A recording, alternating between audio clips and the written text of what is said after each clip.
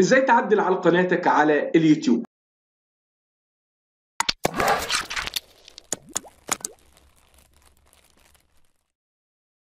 السلام عليكم ورحمة الله وبركاته. بسم الله والصلاة والسلام على رسول الله. أهلا بيكم في الدرس الثاني من سلسلة إزاي تبدأ على يوتيوب. إن شاء الله النهاردة هنتكلم عن التعديل على قناة اليوتيوب. ولو ما شفتش الدرس السابق تقدر ترجع ليه عن طريق الرابط اللي موجود أسفل الفيديو في ال description. شاهد الدرس الأول وبعد كده ارجع للدرس الثاني علشان تكون رابط الأحداث ببعض وما تفوتش أي معلومة في الدرس الأول. دلوقتي هنبدأ في التعديل على القناة. وطبعا بالنسبة للتعديل على القناة هنعدل على أهم الحاجات الحاجات اللي انت لازم تعدل عليها في قناتك علشان تبقى مميزة عن غيرها في الشكل أو التصميم أو التعديل اللي إحنا هنعدل عليه دلوقتي. حاول انه يكون مميز عن غيره قناتك مميزة عن غيرها من القنوات. هنضغط هنا على تخصيص القناة. طبعا هيتم مباشرة تغيير شكل موقع يوتيوب من الشكل الجديد اللي كان عليه للشكل القديم اللي هو ده. علشان تقدر تعدل على القناة بالكامل أو بمعنى صح وضع التعديل على القناة. أول خطوة هنتكلم نتكلم عن وصف القناة. وصف القناة لازم يعبر عن قناتك ومحتوى قناتك بحيث أي حد يدخل على قناتك ويقرأ الوصف اللي أنت كاتبه في قناتك يعرف مباشرة قناتك متخصصة في مجال إيه وبتتكلم عن إيه والمحتوى اللي بتقدمه في القناة. فطبعا أي حد يدخل على القناة يلاقي الوصف بتاع القناة جميل ومنسق كده والمحتوى اللي أنت بتقدمه في القناة من خلال الوصف اللي أنت كاتبه موجود في القناة. طبعا الناس هتحب القناة وبالتالي هتدعم قناتك على طول باشتراك وهتتابعك باستمرار. وطبعا حاول إنك تكتب وصف لقناتك يكون مختصر وفي نفس الوقت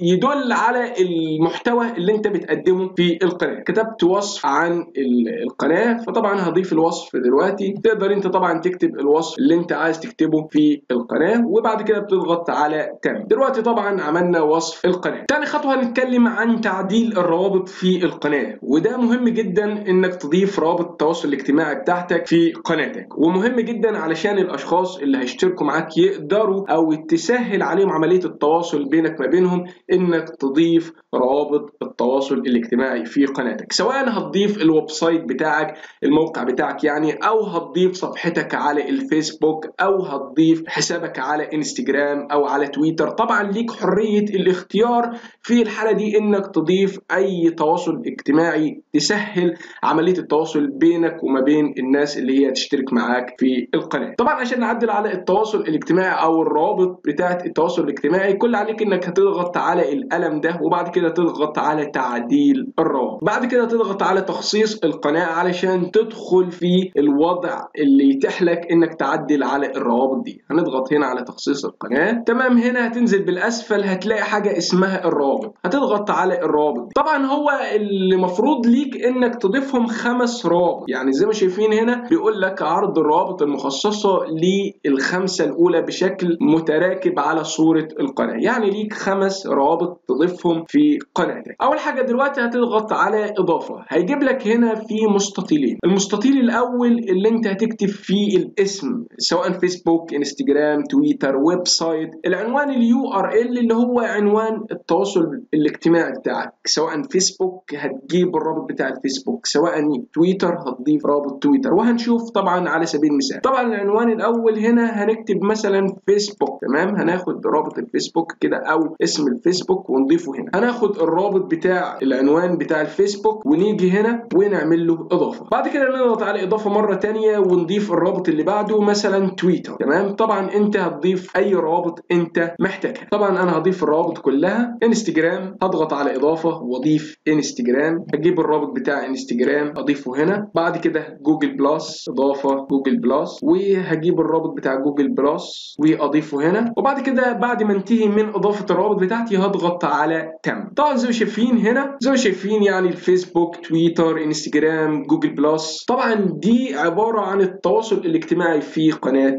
اليوتيوب. الخطوة الثالثه مهمة جدا وهي إضافة البريد الإلكتروني في قناة اليوتيوب. طبعا في قسم حوله وتنزل بالأسفل هتلاقي حاجة الاستفسارات التجارية البريد الإلكتروني. البريد الإلكتروني مهم جدا علشان لو في أي حد هيقدر يتواصل معاك من خارج مصر أو من دول المجاورة تقدر على طول تتواصل معاك عن طريق البريد الإلكتروني الخاص بالقناة. حتى يوتيوب لو هتتواصل معاك في مشكلة وانت عايز تستفسر عن حاجة أو هم عايزين يرسلوا ليك حاجة طبعا بالبريد الإلكتروني ده هيقدروا يتواصلوا معاك بكل بساطة. فطبعا مهم جدا إنك تضيف البريد الالكتروني طبعا هتضيف البريد الالكتروني في القناة وبعد كده بتضغط على تمام. تمام إحنا دلوقتي ضفنا البريد الالكتروني طبعا لو واحد هيقول لي طب إيه هو البريد الإلكتروني؟ اللي هو الإيميل اللي أنت عملت بيه القناة. تمام؟ هو البريد الالكتروني النقطة الرابعة هنتكلم عن إضافة الموقع. يعني إيه هو الموقع؟ الموقع يعني البلد بتاعتك. مهم جدا إنك تضيف البلد بتاعتك بالضبط في قناتك. لأنك لو ضفت بلد غير بلدك طبعا هتواجه مشاكل كتيرة جدا قدام وهتعرفها قدام لو ما كنتش بتعرفها في الوقت الحالي. فطبعا باختصار لازم تضيف بلدك هنا طبعا في الموقع غير محدد هتضغط وتدور على البلد بتاعتك وتختارها. طبعا أنا هختار مصر هدور على مصر وهضيف أها موجودة مصر. وكده أنا قدرت أضيف البلد بتاعتي. تم تحديث البلد بنجاح. مهم جدا يا جماعة إنك تضيف البلد بتاعتك بالضبط. حاول ما تضيفش أي بلد غير بلدك. النقطة الخامسة هنتكلم عن غلاف اليوتيوب. مهم جدا إن يكون لقناة اليوتيوب غلاف احترافي يدل على المحتوى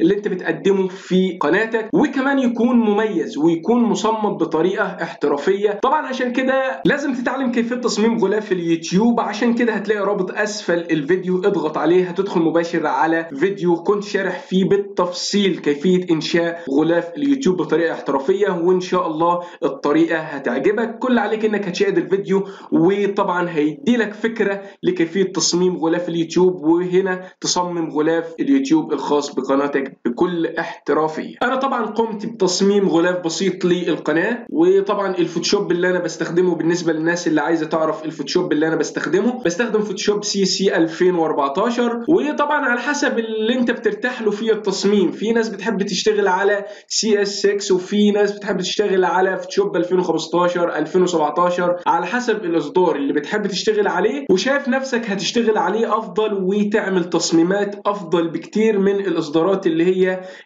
القديمة. أنصحك طبعا لو أنت ما اشتغلتش على أي برامج فوتوشوب قبل كده أنصحك إنك تشتغل على فوتوشوب CC 2017 أو 2018 يعني بتلاقي فيه مميزات كتيرة جدا وبرده هو بيتطلب إمكانيات جهاز تكون قوي شوية. بس برده لو أنت مفيش عندك الإمكانيات دي اشتغل على فوتوشوب CS 6 هيكون خفيف وإمكانيات الجهاز بتاعتك لو كانت متوسطة هتشغل البرنامج بدون أي مشاكل. أما بالنسبة للمقاييس الخاصة بغلاف اليوتيوب. أنا طبعا جهزت ليكم ال template ده علشان هخلي لكم الرابط برده بتاعه أسفل الفيديو في ال description هتحمله. وطبعا يعني بعد ما تصمم الغلاف بتاعك هتجيب الغلاف اللي أنت صممته هتسحبه هنا على ال template وتظبطه على المكان اللي هو في النص ده بالظبط كده. وبعد كده بتضغط على حفظ. تمام دلوقتي إحنا حفظنا الغلاف وظهر معانا بالشكل اللي أنتوا شايفينه ده. خلاص إحنا دلوقتي عايزين نركب الغلاف بتاعنا على قناة اليوتيوب. هنا هتضغط على رمز القلم ده وبعد كده هتضغط على تعديل صورة